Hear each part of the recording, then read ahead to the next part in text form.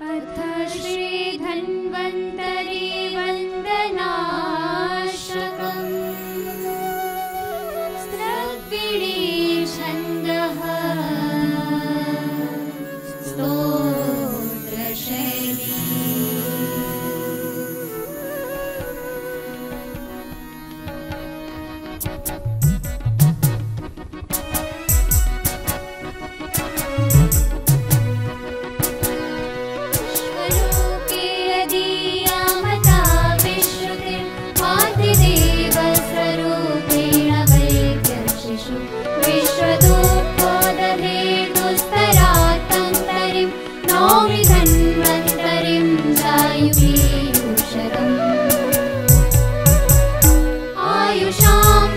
वेद्यात्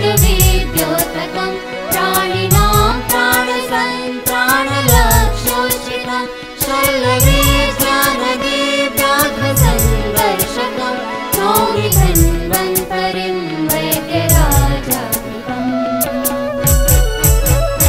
ब्रह्म वै